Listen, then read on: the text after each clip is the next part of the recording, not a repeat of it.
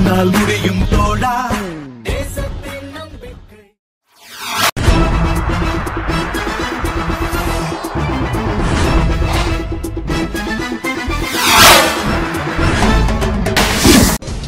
சென்னை தாம்பரத்தில் நடைபெற்ற வியாபாரிகள் கூட்டத்தில் கலந்து கொண்டு பேசிய தமிழ்நாடு வணிகர் சங்கங்களின் பேரமைப்பு தலைவர் ஏ எம் விக்ரமராஜா பின்னர் செய்தியாளர்களிடம் பேசும்போது நாடு முழுவதும் லட்சக்கணக்கான வணிகர்களை பாதுகாத்திட ஆன்லைன் வர்த்தகத்திற்கு மத்திய அரசு தடை விதிக்க வேண்டும். கண் துடைப்புக்காக நடவடிக்கை மேற்கொள்ளக்கூடாது. மருந்து பொருட்களுக்கு நீதிமன்றம் சென்று தடை வாங்கிய நிலையில் காய்கறிகள் பழங்கள் மளிகை பொருட்கள் உணவுப் பொருட்கள் உள்ளிட்டவைகளை ஆன்லைனில் வணிகம் செய்வதையும் மத்திய அரசு தடை செய்திட வேண்டும். இல்லாவிடில் நாடாளுமன்ற தேர்தல் அறிவிப்பு வெளியான பின்னர் தொடர் கடைக்கடப்பில் ஈடுபடுவோம் என மத்திய அரசுக்கு எச்சரிக்கை விடுத்தார். நாடு முழுவதும் ஆன்லைன் வர்த்தகத்தை வர்த்தகத்துறை தடை செய்ய வேண்டும் என்பது வலியுறுத்தி நேற்று கூட டெல்லியிலே கடும் போராட்டங்களை நடத்தியிருக்கிறோம். தொடர்ச்சியாக அரசு அதற்கு சட்ட விதிகளை ஏற்படுத்துவோம் என்று சொல்லி கண் துடைப்பாக அதை தொலைத்து விடாமல் ஆன்லைன் வர்த்தகத்தில் மூலமாக பாதிக்கப்படுகின்ற பல லட்சம் வணிக குடும்பங்களை காப்பாற்றுவதற்கு மத்திய அரசு உடனடியாக கவனம் செலுத்த வேண்டும் என்பதை வலியுறுத்தியும். பிளாஸ்டிக் ஏர்பேக் தடை என்பது ஜனவரி ஒன்று வரை இருப்பதாக மத்திய மாநில அரசு அறிவித்திருக்கிறது. குறிப்பாக நீதிமன்றங்களில் கூட வழக்குகள் நிலுவையில் இருக்கிறது. இந்த தருணத்தில் காஞ்சிபுரம் மாவட்டத்தை உள்ளிட்ட தாம்பரம் பகுதியிலே கடகடையாக வந்து கேரிபேக் அள்ளி செல்வதற்கு யார் அனுமதி தருகிறார்கள்? வியாபாரிகள் என்று சொன்னால் கிள்ளுகிரியாக அவர்கள் எண்ணிவிடக் கூடாது. காஞ்சிபுரம் மாவட்டம் தாம்பரம் சட்டமன்ற தொகுதிக்குட்பட்ட பெருங்களத்தூர் பேரூராட்சி பத்தாவது வார்டு பகுதியில் இருபத்தைந்து வருடமாக தெருக்கள் குண்டும் குழியுமாக இருந்த நிலையில் பொதுமக்கள் தாம்பரம் சட்டமன்ற உறுப்பினர் எஸ் ஆர் ராஜா அவர்களிடம் தார் சாலை அமைத்து தருமாறு புகார் மனு அளித்தனர். புகாரை பெற்றுக்கொண்ட சட்டமன்ற உறுப்பினர் ராஜா பாதிக்கப்பட்ட மக்களிடம் நேரில் சென்று குறைகளை கேட்டறிந்து மற்றும் தெருக்களை பார்வையிட்டார். மேலும் தன் தொகுதி நிதியிலிருந்து பதினெட்டு லட்சம் ஒதுக்கப்பட்டு தார் சாலை அமைத்து தருவதாக மக்களிடம் கூறினார். மேலும் பத்தாவது வார்டு பகுதியின் முன்னாள் கவுன்சிலர் ஐசக் அவர்கள் புதிதாக தொடங்கியுள்ள பால் கடை மற்றும் ஐஸ்கிரீம் கடையை ரிப்பன் வெட்டி தொடங்கி வைத்தார். இதில் முன்னாள் தலைவர் சேகர் துணைத் தலைவர் ஐசக் மற்றும் நிர்வாகிகள் பொதுமக்கள் திரளாக கலந்து கொண்டனர். தருமபுரி மாவட்டம் பாப்பிரெட்டிப்பட்டி அருகே உள்ள கோபாலபுரம் சுப்பிரமணிய சிவா கூட்டுறவு சர்க்கரை ஆலை முன்பு கரும்பு விவசாயிகள் சார்பில் கரும்பு சென்ற ஆண்டை விட டன் ஒன்றுக்கு நானூற்றி எண்பத்தி ஆறு விலை குறைப்பு கண்டித்தும் கரும்புக்கு மாநில அரசின் பரிந்துரையின்படி நிர்ணயித்த விலையை வழங்க கோரியும். வறட்சிக்கு பாதிப்புக்குள்ளான பயிர்களுக்கு வறட்சி நிவாரணம் வழங்க வேண்டும். காவிரி ஆற்றின் உபரி நீரை பயன்படுத்தி தருமபுரி மாவட்டத்தில் உள்ள அனைத்து நீர்த்தேக்கங்கள் மற்றும் ஏரிகளை நிரப்பி பாசனத்திற்கு பயன்படும் வகையில் நடவடிக்கை மேற்கொள்ள வேண்டும் என உள்ளிட்ட பதிமூன்று அம்ச கோரிக்கைகளை வலியுறுத்தி கரும்பு விவசாயிகளின் ஆர்ப்பாட்டத்தில் நூற்றுக்கும் மேற்பட்ட விவசாயிகள் கலந்து கொண்டு விலை குறைப்பை கண்டித்து கோஷங்களை எழுப்பினர். கரும்பு டன் ஒன்றுக்கு நான்காயிரம் ரூபாய் விலை அறிவிக்க வேண்டும். வயல்வெளியில் வெட்டப்படுகிற கரும்புக்கு ஆலையை வெட்டுக்குழியை கொடுத்து ஆலையை ஆலையை எடுத்துக்கொள்ள வேண்டும். மாநில அரசினுடைய பரிந்துரை வழியான எஸ்ஏபி மாநில அரசுக்கு அறிவிக்க வேண்டும். மத்திய அரசு எம் எஸ் சாமிநாதன் கமிட்டி அறிக்கையின்படி உற்பத்தி செலவை கணக்கிட்டு அதற்கு மேல் ஐம்பது சதம் விலையாக வைத்து கரும்புக்கான விலையை நிர்ணயம் செய்திட வேண்டும். கூட்டு காவிரியில் உபரியாக இருக்கிற நீரை கூட்டு குடிநீர் திட்டம் மூலம் பயன்படுத்தி விவசாயிகள் பயனடைகின்ற வகையில் மாவட்டத்திற்கு பகிர்ந்தளிக்க வேண்டும். கோவை டவுன் ஹால் சாலையில் உள்ள மைக்கேல் பேராலயத்தில் சமத்துவ கிறிஸ்துமஸ் விழா நடைபெற்றது. கத்தோலிக்க திருச்சபை சார்பில் நடைபெற்ற இந்த விழாவில் இந்து முஸ்லிம் மதங்களைச் சேர்ந்த தலைவர்களும் கலந்து கொண்டனர். கோவை மறைமாவட்ட ஆயர் தாமஸ் அக்வினாஸ் தென்னிந்திய திருத்தவை கோவை பிஷப் திமோதி ரவீந்தர் ஆகியோர் தலைமையில் நடைபெற்ற இந்த விழாவில் சமத்துவத்தை வலியுறுத்தும் விதமாக மூன்று மதங்களைச் சேர்ந்தவர்களும் ஒன்றாக கிறிஸ்துமஸ் கேக் வெட்டி மகிழ்ந்தனர். தொடர்ந்து விழாவில் வால்பாறையில் இயற்கையின் இடர்பாடுகளில் பாதிக்கப்பட்ட மக்களுக்காக கோவை கத்தோலிக்க மறைமாவட்ட பல்நோக்கு சமூக சேவா சங்கம் சார்பில் ரூபாய் ஒன்பது லட்சத்து முப்பத்தி எட்டாயிரம் நிதிக்கான காசோலையும் ஏழை குழந்தைகளுக்கு இலவசமாக சைக்கிள் மற்றும் கல்வி உதவித்தொகையும் வழங்கப்பட்டது. நிகழ்ச்சியில் விழாவில் மேற்கு மண்டல ஐஜி பெரியா உட்பட பலர் கலந்து கொண்டனர். புதுக்கோட்டை மாவட்டம் அறந்தாங்கியில் பல்வேறு கோரிக்கைகளை வலியுறுத்தி காலவரையற்ற வேலைநிறுத்த போராட்டத்தில் ஈடுபட்ட அகில இந்திய கிராம அஞ்சல் ஊழியர் சங்கமும் தேசிய கிராம அஞ்சல் ஊழியர் சங்கமும் இணைந்து கண்டன ஆர்ப்பாட்டத்தில் ஈடுபட்டனர். ஆர்ப்பாட்டத்தின் போது பணியிட மாறுதல் அளிக்கும் அதிகாரம் கோட்டமண்டல மாநில அதிகாரிகளுக்கு பிரிந்து அளிக்கப்பட வேண்டும். பணியிட மாறுதலின் போது ஊதியம் குறைக்கப்படக்கூடாது. கமிட்டி அறிக்கையில் உள்ளபடி மூன்று விதமான விருப்ப ஓய்வு திட்டங்கள் அமல்படுத்த வேண்டுமென உட்பட்ட பல்வேறு கோரிக்கைகள் ஆர்ப்பாட்டத்தில் முன்வைக்கப்பட்டன. ஆர்ப்பாட்டத்தில் இரு சங்கங்களின் நிர்வாகிகள் அடைக்கலம் வீராங்கனை சூரியபிரகாஷ் குமரேசன் ராமச்சந்திரன் ஹரி ராமகிருஷ்ணன் உட்பட ஏராளமானோர் கலந்து கொண்டனர். கஜா புயலில் பாதிக்கப்பட்ட புதுக்கோட்டை அருகே உள்ள சின்னையா சத்திரம் கிராமத்தில் இதுவரை நிவாரணப் பொருட்கள் வழங்கப்படாமலும் குடிநீர் எடுக்க வெகு தொலைவில் செல்வதாலும் கிராம மக்கள் அவதிக்குள்ளாகி வருகின்றனர்.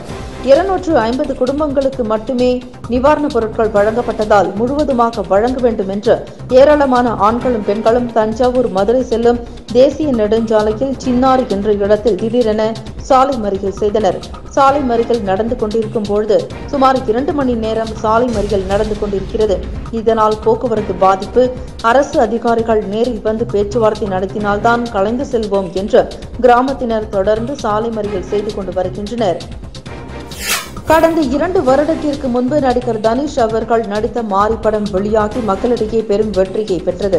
இதனைத் தொடர்ந்து இரண்டாம் கட்டமான மாரி டூ என்ற திரைப்படத்தை நடிகர் தனுஷ் அவர்கள் நடித்து வந்த நிலையில் அப்படமானது இன்று தமிழ்நாடு முழுவதும் வெளியானது. இதனை வரவேற்கும் வகையில் கோவை மாவட்ட இளைஞரணி தலைமை தனுஷ் நண்பர்கள் நற்பணி இயக்கம் சார்பாக ஆர்எஸ்புரம் பகுதியில் உள்ள திரையரங்கு முன்பு படம் வெற்றி பெற வேண்டுமென்று தனுஷ் புகைப்படமான பேனர்கள் வைத்தும் கோவையில் முதன்முறையாக இருநூறு அடி நீளமான அலங்கார வளைவுகள் வைத்தும் மேளதாளத்துடன் பட்டாசுகள் வெடித்தும் இனிப்புகள் வழங்கியும் உற்சாகத்துடன் கொண்டாடினர். இதில் மாவட்ட இளைஞரணி தலைவர் சதீஷ் செயலாளர் பாலா உள்ளிட்ட மன்ற நிர்வாகிகள் ஏராளமானோர் கலந்து கொண்டனர். திண்டுக்கல் மாவட்டம் கொடைக்கானல் பாம்பார்புரத்தில் சுமார் எழுநூறு குடும்பங்கள் வாழ்ந்து வருகின்றனர். இதில் குறிப்பாக இருபத்தி ஒரு வார்டு பகுதியில் உள்ள பொது கழிப்பிடத்தை அகற்றி அந்த இடத்தில் திடக்கழிவு மேலாண்மை திட்டத்தில் மக்கும் குப்பை மக்காத குப்பைகளை பிரித்தெடுக்கும் தொட்டியினை இப்பகுதியில் அமைக்க நகராட்சி முடிவு செய்தது. இதன் அடிப்படையில் இன்று இப்பகுதியில் பணிகளை தொடங்குவதற்கு பணியாளர்கள் பொது கழிப்பிடத்தை அகற்றும் பணியினை தொடங்கினார்கள். அப்போது இப்பகுதி பொதுமக்கள் பணி நடைபெற்ற இடத்தினை சூழ்ந்து கொண்டனர். இங்கு அமைக்கப்படும் திடக்கழிவு மேலாண்மை திட்டத்தை வேறு இடத்திற்கு மாற்றம் செய்ய கோரி பொதுமக்கள் ஆர்ப்பாட்டம் செய்தனர். மேலும் இப்பகுதியின் அருகில் குழந்தைகள் பயிலும் பள்ளி இருப்பதாகவும் இவ்வழியில் செல்லக்கூடிய பொதுமக்களுக்கும் தொற்றுநோய் பரவும் அபாயம் உள்ளதாகவும் தெரிவித்தனர். இதனைத் தொடர்ந்து நகராட்சி அதிகாரியிடம் இந்த திட்டத்திற்கான இடத்தை மாற்றி அமைக்க வேண்டுமென இப்பகுதி பொதுமக்கள் மனு அளித்தனர். மனுவை பெற்றுக்கொண்ட அதிகாரிகள் வேறு இடத்திற்கு மாற்றி அமைக்க பரிசீலனை செய்யப்படும் என தெரிவித்தனர். இதனால் அப்பகுதியில் சிறிது நேரம் பரபரப்பு காணப்பட்டது. மிக ஆபத்தான நிலையை உருவாக்கக்கூடிய ஒரு சூழ்நிலை உள்ளது. கொசுக்கள் ஈக்கள் வரக்கூடிய சூழ்நிலை அஹ், ஏறக்குறைய ஆயிரத்தி இரநூறு குழந்தைகள் பள்ளிக்கு இந்த வழியாகத்தான் வருகிறார்கள். அவர்களுக்கு பலவித நோய்கள் வர ஏற்ப வாய்ப்பு வாய்ப்பு உள்ளது. எனவே இதனை தடுத்து நிறுத்தும்படி பள்ளியின் சார்பாக கடலூர் மாவட்டம் திட்டக்குடியை அடுத்த பெண்ணாடம் பகுதியில் உள்ள கடைகளில் அடிக்கடி திருடு நடப்பதாக பெண்ணாடம் காவல் நிலையத்திற்கு தகவல் வந்தது. இந்நிலையில் மாவட்ட கண்காணிப்பாளர் உத்தரவின் பேரில் தனிப்படை அமைக்கப்பட்டு திருடுபவர்கள் யார் என போலீசார் கண்காணித்து வந்தனர். அப்பொழுது தனிப்படை போலீசார் ஜவுளி கடையில் புடவை வேஷ்டி மற்றும் எலக்ட்ரானிக்ஸ் கடையில் எல்இடி டிவி உள்ளிட்ட பொருட்களை திருடிய அரியலூர் மாவட்டம் ஜெயங்கொண்டம் அருகே உள்ள தண்டலை கிராமத்தை சேர்ந்த சிதம்பரம் மகன் சங்கர் அதே கிராமத்தை சேர்ந்த ரமேஷ் மனைவி கல்பனா அருமைராஜ் மனைவி கற்பகம் ஆகிய மூன்று பேர் கைது செய்தனர். திருவாரூர் மாவட்ட ஆட்சியர் அலுவலகம் முன்பு கிராம நிர்வாக அலுவலர் சங்கத்தினர் தொடர் வேலை நிறுத்த போராட்டம் செய்து வருகின்றனர். அதில் இன்று பனிரெண்டாவது நாளாக மாவட்ட ஆட்சியர் அலுவலகத்தை முற்றுகையிடும் போராட்டத்தில் ஈடுபட்டனர். இந்த போராட்டம் கிராம நிர்வாக அலுவலர்களின் கோரிக்கைகளை தமிழக அரசு நிறைவேற்றி தரும் வரை தொடரும் என தெரிவித்தனர். இதில் திருவாரூர் மாவட்டத்தில் உள்ள முன்னூற்று ஐம்பத்தி நான்கு கிராம நிர்வாக அலுவலர்கள் கலந்து கொண்டனர்.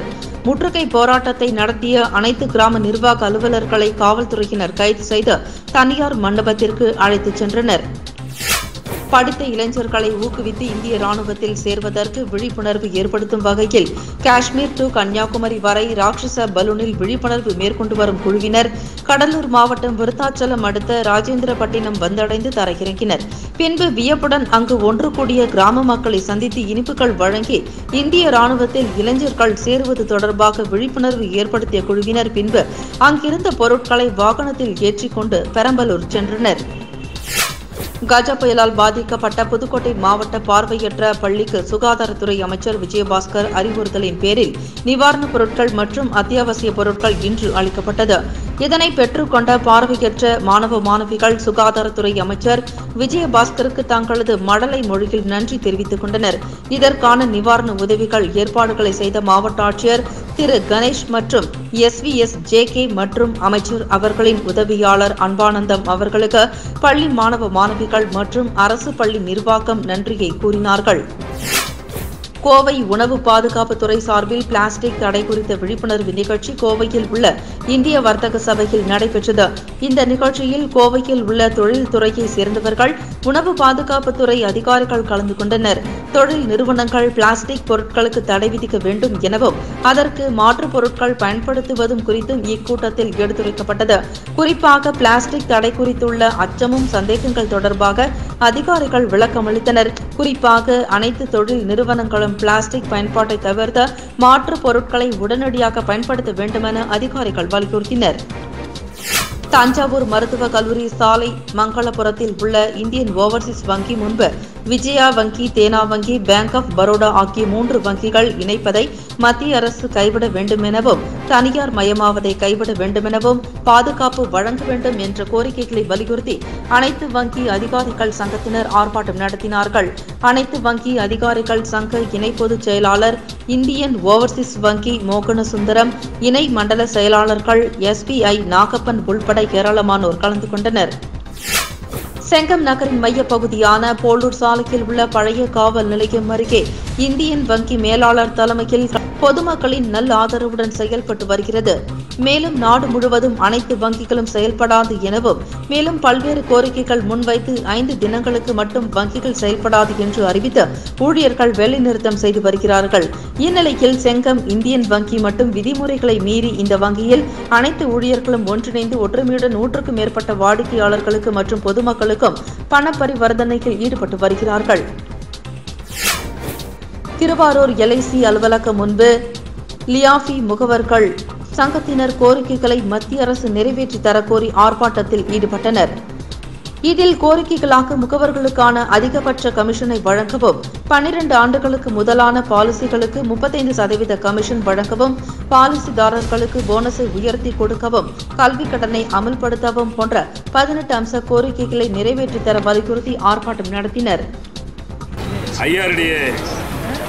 அறிவுறுத்தலின்படி எல்ஐசி நிர்வாகம் அதற்கான கமிஷன் முகர்களுக்கான கமிஷனை சரிமுறை வழங்கப்படவில்லை. மற்றும் பாலிசாருடைய போனஸை அதிகரிக்க வேண்டும். எல்ஐசியில் பாலிசிகள் வழங்கப்படக்கூடிய கடன்களுக்கான வட்டிகளை குறைக்க வேண்டும் என்று பல்வேறு கோரிக்கைகளை வலியுறுத்தி மற்றும் முகவர்களுக்கான குரூப் இன்சூரன்ஸ் தொகையை முப்பது லட்சமாக உயர்த்த வேண்டும். அதற்கு வயது வரம்பு கூடாது என்று பல்வேறு அறை அறைகோலின்படி காஷ்மீர் முதல் கன்னியாகுமரி வரை இன்றைக்கு அனைத்து எல்ஐசி அலுவலகத்திலையும் லியாஃபி அமைப்பானது தொடர் போராட்டமாக டிசம்பர் ஒன்று முதல் தொடர்ந்து நடைபெற்று கொண்டிருக்கிறது. தருமபுரி மாவட்டம் அரூர் அருகே கௌப்பாறை கிராமத்தில் ஆற்றுப்பாலம் அமைக்கும் பணியில் பூமி பூஜை நடைபெற்றது. விழாவில் உயர்கல்வித்துறை அமைச்சர் கே பி அன்பழகன் கழக அமைப்பு செயலாளர் பொன்னையன் கலந்து கொண்டு சுமார் ரூபாய் இரண்டு கோடி நாற்பது லட்சம் மதிப்பிலான ஆற்றுப்பாலம் கட்டும் பணியை தொடங்கி வைத்தனர். இதில் அதிமுக கட்சி தொண்டர்கள் பலர் கலந்து கொண்டனர். ஸ்டெர்லைட் ஆலைக்கு வந்து பசுமை தீர்ப்பு ஆலயம் வந்து மீண்டும் வந்து உத்தரவு கொடுத்துருக்குது. பயன்படக்கூடிய திட்டத்தை கொண்டு வருவதற்கு அரசானது அம்மாவுடைய அரசானது முனைப்போடு செயல்கின்ற அதே வேளையில் மப்ப- மக்களுக்கு பாதிப்படுகின்ற திட்டம் வரக்கூடாது என்பதிலே மக்கள் ஒரு குறிக்கோளாக இருக்கின்ற பட்சத்திலே அதற்கும் அரசானது உரிய நடவடிக்கையை மேற்கொண்டு அது வராமல் இருப்பதற்குண்டான நடவடிக்கைகள் எல்லாம் மேற்கொண்டு மாண்புமிகு தமிழ்நாடு முதலமைச்சர் அவர்கள் உரிய ஆலோசனை பெற்று அதன் மூலமாக இன்றைக்கு செயல்படுத்திக் கொண்டிருக்கிறார் என்பதை தெரிவித்துக் கொள்கிறேன். கிருஷ்ணகிரி மாவட்டம் ஓசூர் அருகே உள்ள உளியாளம் கிராமத்தை சேர்ந்த ராஜப்பா என்பவருக்கு அதே கிராமத்தை சேர்ந்த நாகிரெட்டி என்பவருக்கும் நிலத்தகராறு இருந்ததாக கூறப்படுகிறது. இரண்டாயிரத்தி நான்காம் ஆண்டு இருசக்கர வாகனத்தில் வந்த ராஜப்பாவை வழிமறித்த நாகிரெட்டி தரப்பினர் மிளகாய் பொடி தூவி சரமாரியாக வெட்டி முதுகு பகுதியில் ஆசிட் வீசி கொலை செய்ததாக பாகலூர் போலீசார் விசாரித்து கொலைக்கு காரணமானவர்களாக பதிமூன்று பேர் மீது குற்றம் சாட்டப்பட்டிருந்தது. பதினைந்து ஆண்டுகளாக ஓசூர் நீதிமன்றத்தில் நடைபெற்று வந்த ராஜப்பா கொலை வழக்கில் பத்து பேர் விடுவிக்கப்பட்ட நிலையில் கொலைக்கு முக்கிய காரணமான மூவருக்கு கூடுதல் மாவட்ட அமர்வு நீதிமன்ற நீதிபதி அசோகன் இன்று ஆயுள் தண்டனை வழங்கி தீர்ப்பளித்தார். குற்றம் சாட்டப்பட்ட மூன்று குற்றவாளிகளில் இரண்டாம் குற்றவாளியாக சேர்க்கப்பட்ட நாகு ரெட்டி உயிரிழந்த நிலையில் முதல் குற்றவாளி மூன்றாம் குற்றவாளிகளான நாகராஜ் ரெட்டி ஸ்ரீதர் ரெட்டி ஆகிய இருவருக்கும் தலா ஆயிரத்தி ஐநூறு ரூபாய் அபராதத்துடன் ஆயுள் தண்டனை விதிக்கப்பட்டது.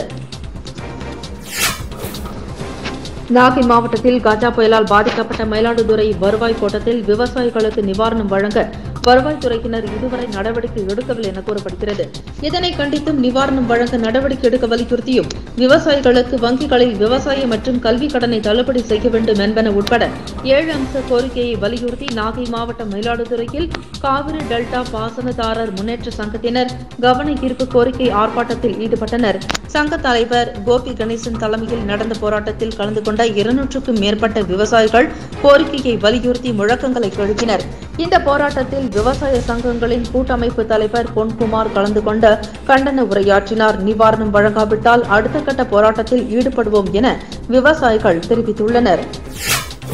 திருவாரூர் மாவட்டம் திருத்துறைப்பூண்டி அருகே உள்ள குறும்பல் கிராமத்தில் சுமார் அறுநூற்று ஏழு குடும்பங்கள் வசித்து வருகின்றனர். கடந்த மாதம் ஏற்பட்ட கஜா புயல் காரணமாக அப்பகுதி முற்றிலும் சேதமடைந்த நிலையில் குடும்பங்களுக்கும் அரசு அறிவித்த நிவாரணம் பணம் மற்றும் அரசால் அறிவிக்கப்பட்டுள்ள இருபத்தி ஏழு வகையான நிவாரணப் பொருட்கள் வந்தும் குறும்பல் கிராமத்தில் வசிக்கும் அறுநூற்று ஏழு குடும்ப அட்டைதாரர்களுக்கு நானூற்று முப்பத்தி மூன்று குடும்பங்களுக்கு மட்டும் வந்ததால் ஏற்கனவே காலம் தாழ்த்தி வந்ததால் அதுவும் பற்றாக்குறைவாக வந்ததால் ஆத்திரமடைந்த குறும்பல் கிராம மக்கள் இருநூற்றுக்கும் மேற்பட்டோர் கஜா புயலால் பாதிக்கப்பட்ட குடும்பங்களுக்கு பாரபட்சமின்றி அனைவருக்கும் போர்க்கால அடிப்படையில் உடனடி பாதிக்கப்பட்ட அனைவருக்கும் நிவாரணம் பணம் அரசு அறிவித்த இருபத்தி ஏழு வகையான நிவாரணப் பொருட்கள் உடனடியாக வழங்க கோரி பாதிக்கப்பட்ட மக்கள் திருவாரூர் திருத்துறைப்பூண்டி சாலையில் சுமார் இரண்டு மணி நேரம் பொதுமக்கள் சாலை மறிகளில் ஈடுபட்டனர். இதனால் திருவாரூர் திருத்துறைப்பூண்டி சாலையில் சுமார் இரண்டு மணி நேரம் போக்குவரத்து பாதிப்பு ஏற்பட்டது. இதில் ஏராளமான கிராம பொதுமக்கள் கலந்து கொண்டு எடப்பாடி அரசை கண்டித்தும் கோஷங்களிட்டும் சாலை மறியலில் ஈடுபட்டனர். கடலூர் மாவட்டம் பன்ருட்டி அடுத்த பெரிய காட்டுப்பாளையத்தில் ஆதி திராவிட மக்கள் பல வருடமாக வசித்து வந்தனர். கடந்த இரண்டாயிரத்தி பதினைந்தாம் ஆண்டு மழை வெள்ளத்தால் பத்து பேர் உயிரிழந்தனர். ஆகையால் அங்கு இருந்த மக்களை அரசு சார்பில் மாற்று இடம் வழங்கி வீடு கட்டி தரப்பட்டன. இந்நிலையில் ஊருக்கு அருகில் உள்ள மாற்று சமூகத்தினருக்கு சொந்தமான கோவிலை சுற்றி கம்பிவெளி அமைத்ததால் இரு சமூகத்திற்கு இடையே வழி பிரச்சனை ஏற்பட்டது. ஆகையால் உடனடியாக கம்பி வேலியை அகற்ற வேண்டும் என்றும் விடுதலை சிறுத்தைகள் கட்சி சார்பில் மாநில விவசாய அணி துணை செயலாளர் தமிழ்மாறன் தலைமையில் ஊர் மக்களுடன் பன்ருட்டி வட்டாட்சியர் இடம் மனு கொடுத்தனர். உடனடியாக நடவடிக்கை எடுக்காவிட்டால் மக்களை திரட்டி போராட்டம் செய்வோம் என்று ஊர் பொதுமக்கள் சார்பில் தெரிவித்தனர். இதில் விசிக ஒன்றிய செயலாளர் உத்தமன் சமூக ஊடக மையம் மாவட்ட அமைப்பாளர் மதிமோகன் ரமேஷ் விக்னேஷ் சிவகுரு மற்றும் பொதுமக்கள் கலந்து கொண்டனர். வன்னிய சமூகத்தை சார்ந்த மக்கள் தாழ்த்தப்பட்ட மக்கள் பிரயோசிக்கக்கூடாது என்பதற்காக அந்த மக்களை ஒட்டி கம்பி வேலி அமைத்துள்ளார்கள். அந்த கம்பி வேலியை அகற்றச் சொல்லி வட்டாச்சாரியிடம் சென்று அந்த கிராம மக்கள் சார்பாக மனு கொடுத்துள்ளோம். வட்- வட்டாச்சாரியிடம் வைத்திருக்கிற கோரிக்கை குடியிருக்கிற பகுதியில் தாழ்த்தப்பட்ட மக்கள் சுதந்திரமாக செல்லுவதற்கு அந்த வேலியை உடனடியாக அகற்ற வேண்டும். பிறகு அந்த மக்களுக்கு ஒரு அங்கன்வாடி அமைத்து கொடுக்க வேண்டும். தனி ரேஷன் பொருள் வழங்க வேண்டும். மேலும் அந்த கிராமத்தில் சாதிய வன்கொடுமை நடந்து விடாமல் தடுப்பதற்கு அரசு உடனடியாக துரிதமாக நடவடிக்கை எடுக்க வேண்டும் என்று சொல்லி மனு கொடுத்துள்ளோம்.